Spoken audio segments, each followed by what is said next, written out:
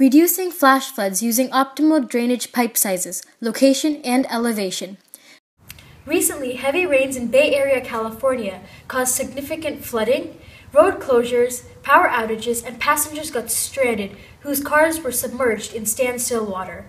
If an area of a road is at a lower elevation than its surroundings, and if the city's drainage system has not installed sufficient drain pipes of the optimal drain sizes, then the rate at which the water can accumulate can increase rapidly. The City of Sunnyvale provides the drain map of the entire city, showing the locations where the drains are installed, the direction of the water flow, and the size of the drain pipes. My project combines three things elevation data of a terrain, city drainage system, and the size of the drain pipes. First, I have written a Java program to obtain the elevation of various points in the city using Google's Elevation API. This elevation data is collected using the latitude and longitude matrix of the city. Then, using the drainage map of the city, I mapped a matrix of the installed drain openings.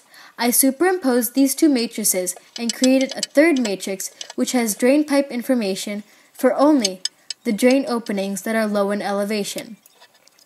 These are the drain openings that become significant during a storm. Then, using the graph theory, I created a flow network, which is a directed graph where each edge is the capacity of the pipe and each node represents a drain opening.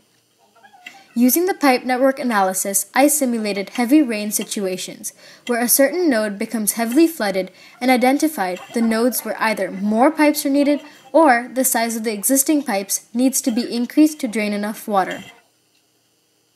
I hope the cities would use my tool to fix the specific drain areas before the next storm arrives.